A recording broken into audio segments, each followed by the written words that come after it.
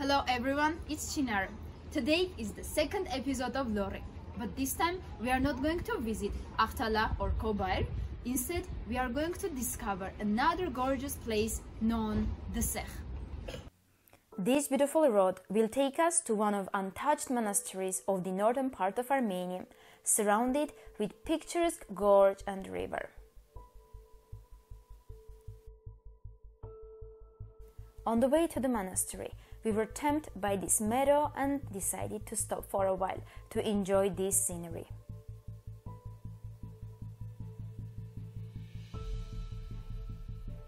We chased the horizon and got to see this breathtaking gorge. It is amazing, yes?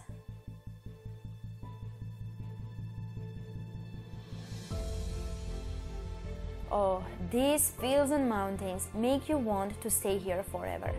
The northern part of Armenia is one of the most scenic sites of our country.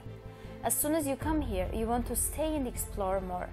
Just look at this spectacular gorge. Deep in the forest, there is a hidden beauty that we are going to visit. It's a quite short hike, but still amazing. Every step you take, you can see beautifully carved cross stones, Khachkar in Armenia. Some of them even broken. Looking at them, you would think that it's been centuries that these monuments have been fighting with nature to stay afoot.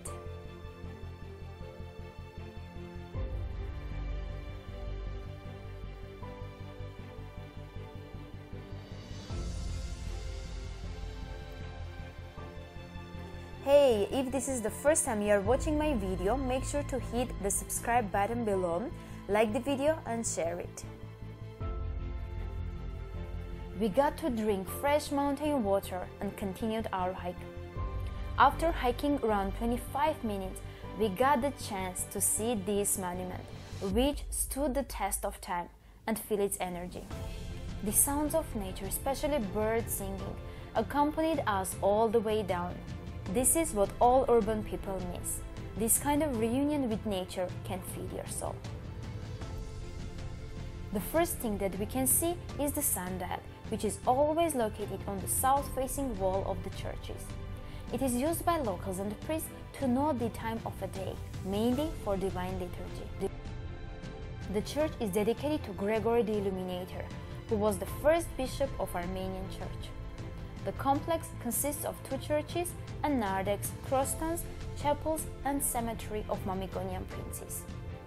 The oldest building of the complex dates back to 10th century, but now only a 3-4 meters high wall remains of it. The walls of the churches are decorated with geometrical floral ornaments. You can also see many inscriptions engraved. The most recent inscription left on the wall dates back to 1247 and it is related to the end of the construction of the narthex. The narthex is quite unique. Unlike traditional Armenian vestibules, this is adjacent to Saint Astvatsatsin, Holy Mother of God Church from south not to the west. It is decorated with beautifully carved ornaments, but unfortunately, many of them did not survive. We can even see most of them on the floor where they have collapsed. Through Narthex, we enter the main church of the complex, dedicated to Holy Mother of God. According to the inscription left on the wall, it was built in 1221. In Middle Ages, this complex was an educational center. Many renowned Armenians studied here. Most probably, the complex was abandoned during the Mongol invasions.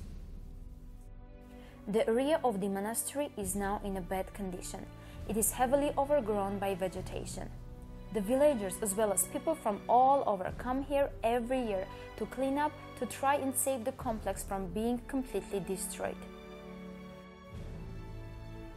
In 2014, this historic monastery was included in World Monuments Watch, which brought even more attention to the locals to try and protect these valuable monuments especially to make it a destination for others to come and see our beautiful heritage. This was one of the first steps taken to preserve the site.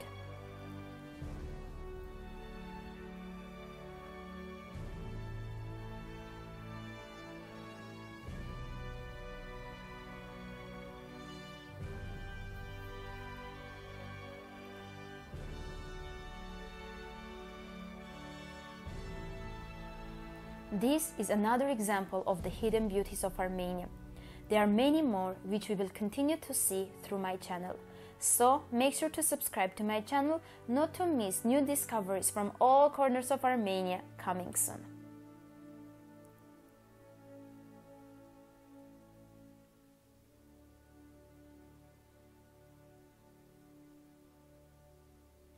Our unforgettable day was completed by this marvelous sunset.